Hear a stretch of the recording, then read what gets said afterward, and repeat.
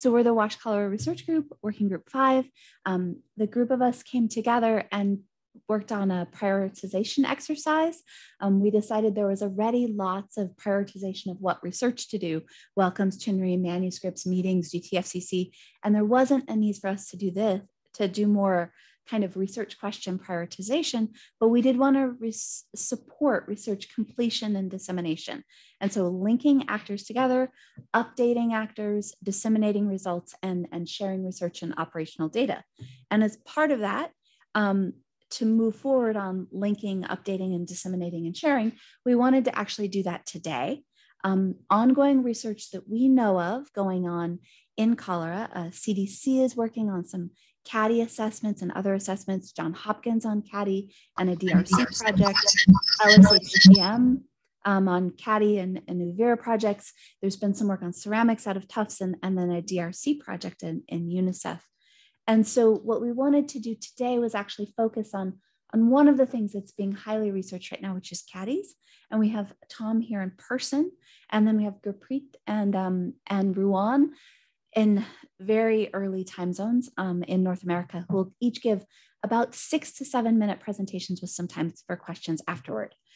Okay, thank you. I hope you can hear me okay. I'm gonna have to go a little bit quickly because I have a few uh, slides that I, I, want to show and I've got a small amount of time. So this is a performance evaluation um, completed by my colleagues at CDC, Andrea Martinson, Taylor Osborne, and our colleagues at UNICEF in North Kivu. So this was looking at CATIs in four priority health zones in North Kivu um, using multi-sectoral teams from uh, Red Cross and DPS. Um, so just to keep in mind, there's a team that includes a driver uh, and then various staff who will go out to the response. Um, and the WASH package was at the household level, the delivery of a hygiene kit, which included the items mentioned there, jerry can bucket, household water treatment products, and two different products were used, plus soap. And then there's a separate uh, distribution that goes to the surrounding households. So a kind of a cordon sanitaire or a ring. Um, and then there was hygiene promotion um, and uh, disinfection in both of those areas. And the hygiene promotion part was done communally, so it may have reached outside of the, of the, uh, the ring structure as well. Next, please. Do I do that?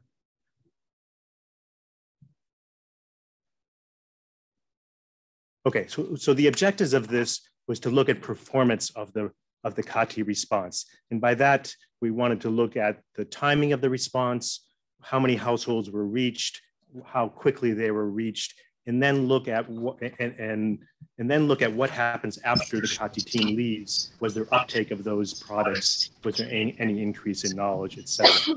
And we use two different methods. So we use the secondary analysis from the Red Cross team that documents the, the, the output of the teams. And then we have a separate external evaluation that visited the households targeted by the CATI at two time points after the CATI team left. And so, this, just shows some of the key results of the of the response. So this is from the Red Cross monitoring data. And if you look at the top row in the circle, you'll see that about 71% of the responses, they arrived at the household within 24 hours. And uh, within 48 hours, about 95%. So pretty good response time. And, and this is uh, time from the, the case appears at the health facility, not the date of onset. So there might be another day between when illness started and when the team actually arrives in, in the community.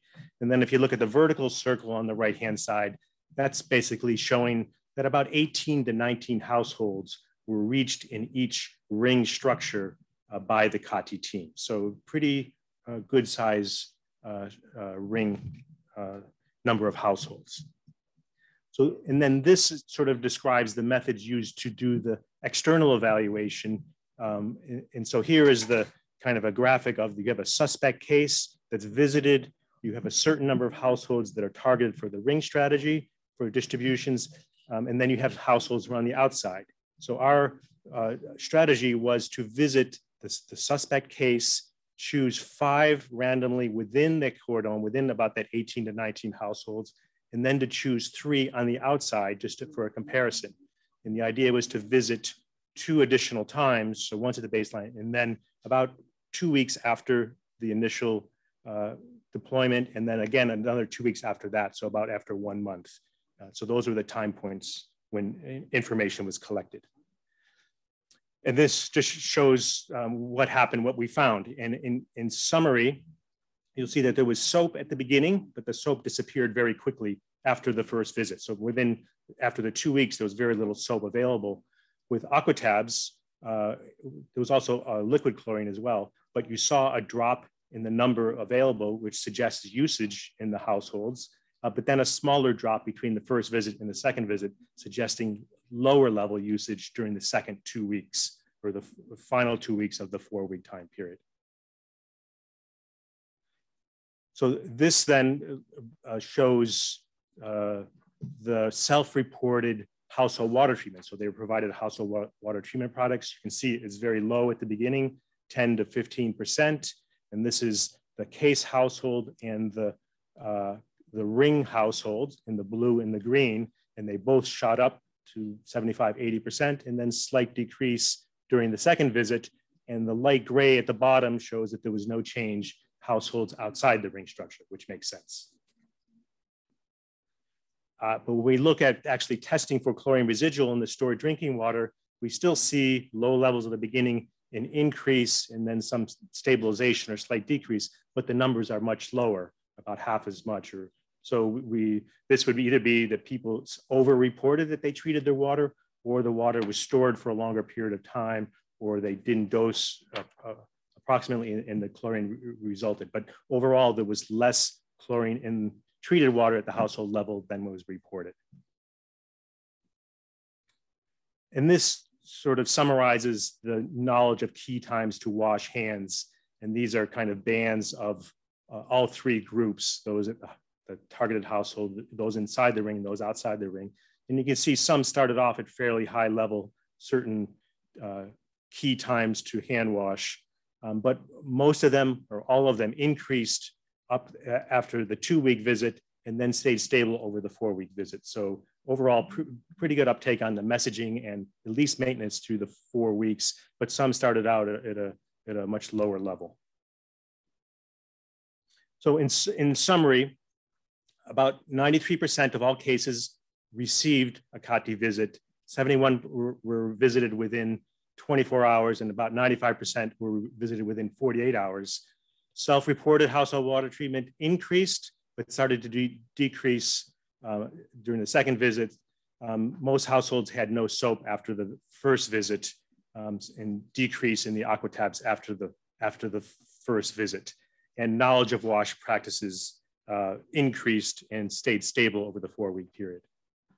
So what are the next steps? Um, so we there was two things that we wanted to look at that we haven't completed yet, and these are important ones. We want to know what proportion of the cases that we responded to were actually cholera. So people come in, they may, they could be rotavirus diarrhea, E. coli, or something else. There was testing done, but it's done by culture, and that takes several days. In the meantime, the case is already, the, the CATI team has already responded. So it'd be good to know what proportion are actually, uh, you, those resources are actually going to cholera cases.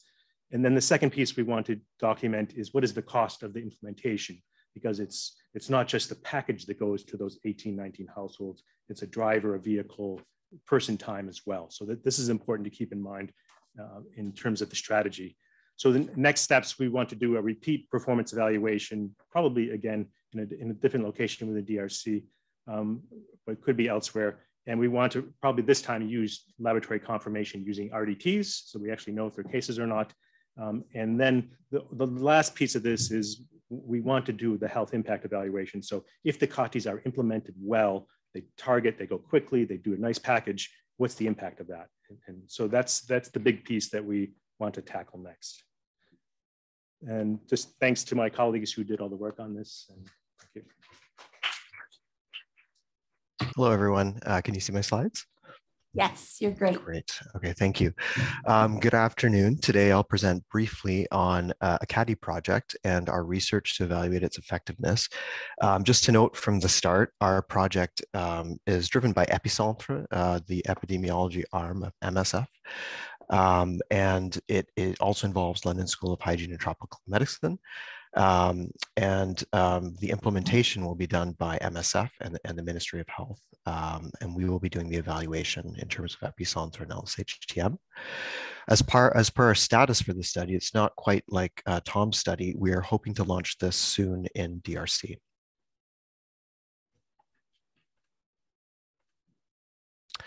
So as you know, uh, CATI is based on the finding that persons within a 100 to 500 meter radius of the primary case of an outbreak are much more likely uh, to be at risk than those who are farther away. So there is an opportunity to greatly reduce or contain transmission in this ring to prevent a larger outbreak. So for MSF, CATI includes um, rapidly launching the intervention within one to three days of the initial cases in an outbreak uh, as they're identified, applying CATI around 100 to 500 meter radius around the households, uh, it, which constitute the primary case households in an outbreak.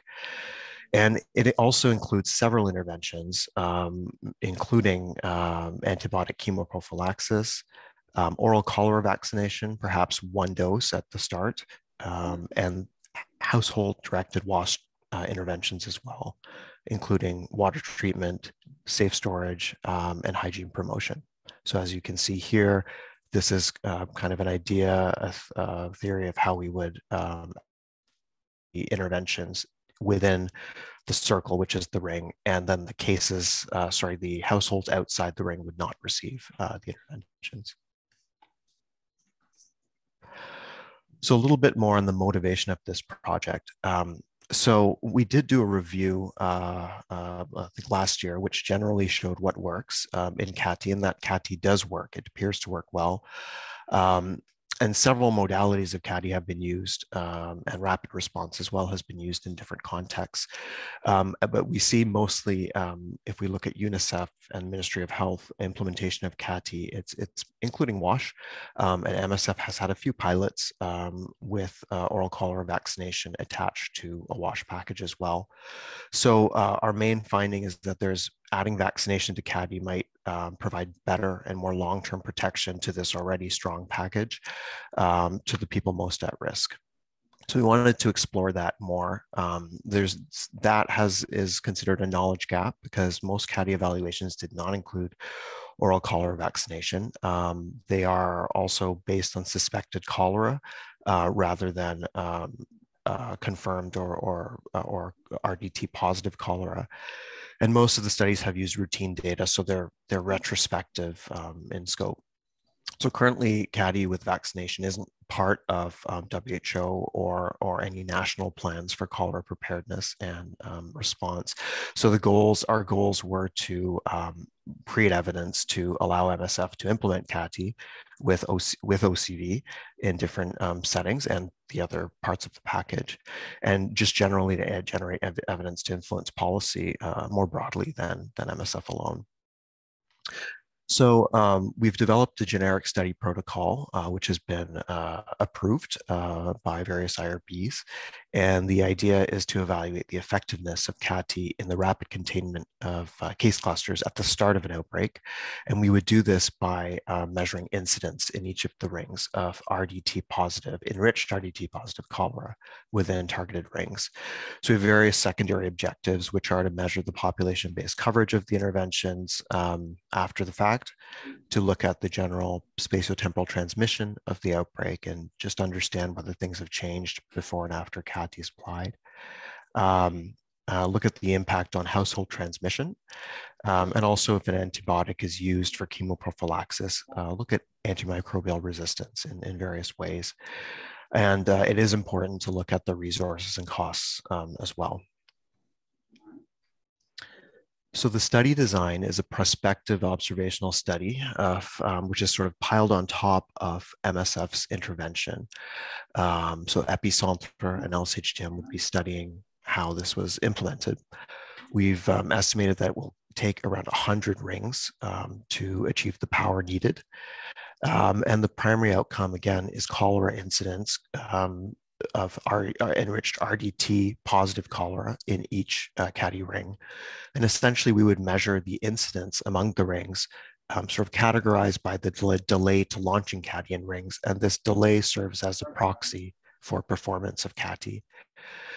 Um, so it has been approved by uh, the MSF um, uh, Review Board, as well as uh, London School of Hygiene Tropical Medicine Review Board, and uh, a few country um, IRBs as well. So in terms of where uh, we're doing this, we've, uh, we're broadly trying to apply this in a few different settings. Uh, right now, um, the project has been approved and is, is ready to go in um, Democratic Republic of Congo.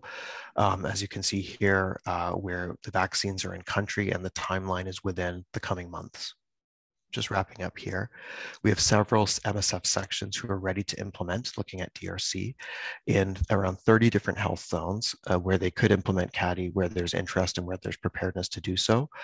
Um, right now, cholera is appearing um, as um, endemic in endemic areas in the east, South Kivu, North Kivu around Goma, and Tanganyika as well.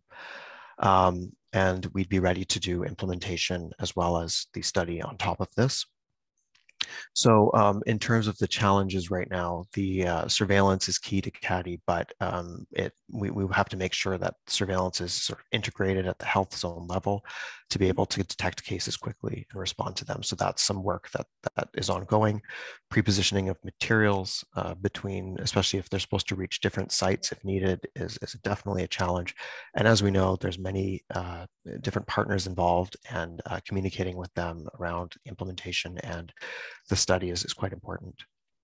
So um, the study will be starting soon. I'll leave that uh, there for now uh, with the correct study apparatus on the right-hand column set up in country. So just to say thank you to the wide array of people who are uh, working on this uh, in the different ministries and uh, within um, LSHTM, MSF, and Epicentre. Thank you. Hello, can you hear me now? We can. Oh, excellent. Okay. Fantastic. Welcome. Sorry about that. Thanks, Mateo. Um, I'm just going to go ahead and begin. My name is Gurpreet Kaur. I am a research associate with the Johns Hopkins uh, CATI study, CATI project, uh, looking at cholera response in humanitarian settings. Um, the research team has previously presented on you to you um, on prior components of the study, which have included uh, Gray and Pierlet reviews, as well as a retrospective case study.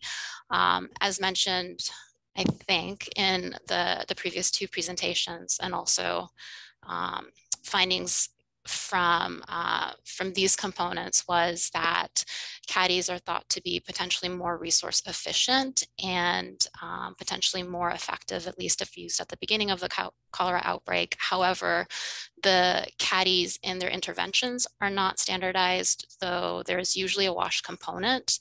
Um, and the coverage area of a CATI is also, um, there's, there is variability there. So the prospective component um, is the last piece in the um, in the CATI project that we have ongoing. Um, we were fortunate enough to partner with um, Action Contre la Faim and Solidarité International uh, in Nigeria as they implemented a CATI approach to the recent cholera outbreak. Um, Hopkins um, was remote and then ACF and Solidarité implemented the study and the data collection in the BAY States with Mozambique, that conversation is ongoing to partner with INS in case there is a cholera outbreak this season in Cabo Delgado or Nampula. The funder for the project is BHA. So the Perspective, um, it's a prospective observational study and it is designed to be flexible with what is actually going on um, in the CATI response. The primary aim um, of the study is looking at the CATI activation time to um, and its relationship with uh, cholera incidence in that area of uh, intervention. As far as secondary aims goes, um, uh, a key area of uh, interest is looking at then the relationship between the CATI completeness, um, specifically more so the coverage area of the CATI and its relationship to, um, to cholera incidence. The the protocol in the study um, was designed in collaboration with Ruwan. I'm sorry, I missed your presentation. Um, so there are some shared, um, shared methodologies. The main component of the study um, is collecting data at the household level, both at case and neighbors that receive the CATI, including GPS coordinates. Um, a, a, second part of the study, um, which is smaller, is doing a select number of key informant interviews, both with the CATI implementers and then also with, um, with the NGO uh, coordination. So specifically looking at um, Nigeria and the data collected with ACF and uh, SI, um, the data collection was begun once uh, the state-specific IRB approvals were obtained. Um, collection began sometime in September um, as far as early October um, in each of the states. And then all of the data collection around the CATIs ended at the very end of December. Some of the key informant interviews are still ongoing just looking at the CATI strategy that was implemented, both organizations um, used a 150 meter radius around the case household to implement the CATI intervention. It was primarily a wash uh, component that was wash and then hygiene promotion. Um, at the case household, cholera kits were distributed at the neighbor houses, a combination of soap and aqua tabs. Hygiene promotion and household spraying was uh, delivered both at the case and neighbor houses. There were slight variations in the cholera kit composition and also in um, the spraying solutions that were used talking a little bit more around the, um, the methodology of how the phase one data was, uh, was collected. Um, when the CATI team went out to respond to a cholera case, the enumerators went with the CATI team and collected observational data at the case and at the neighbor houses, um, along with household GPS coordinates. Um, this was done using a mobile app um, and the output, just as an example of the GPS coordinates, is shown at the bottom of the PowerPoint. Um, approximately seven to 14 days later, just the enumerators went out to that same area of intervention and this time conducted household level um, questionnaires at the case and neighbor houses. Um, and those questionnaires looked more at um, wash practices, the wash infrastructure, um, some hygiene knowledge, and also recall of um, of self-reported diarrhea. And again, GPS um, coordinates were taken. So as far as the geospatial component, which is a significant part of the study, um, this is just to give you a visual of how we're looking at the overlay of the um, geospatial and the CATI rings, both at the implementation, so the phase one, and then um, the overlap at phase two.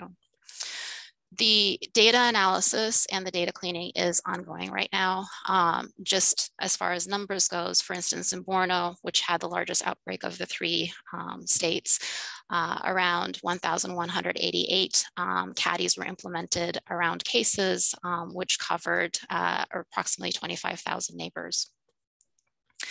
Um, some findings or feedback that is already coming out in the key informant interviews, um, though the uh, qualitative analysis still needs to be under, um, undertaken, um, is on that 150 meter radius uh, measurement. Um, but there was variability in how the teams adapted to estimate that 150 meters, whether it was using a proxy as footsteps or using a proxy as household counts.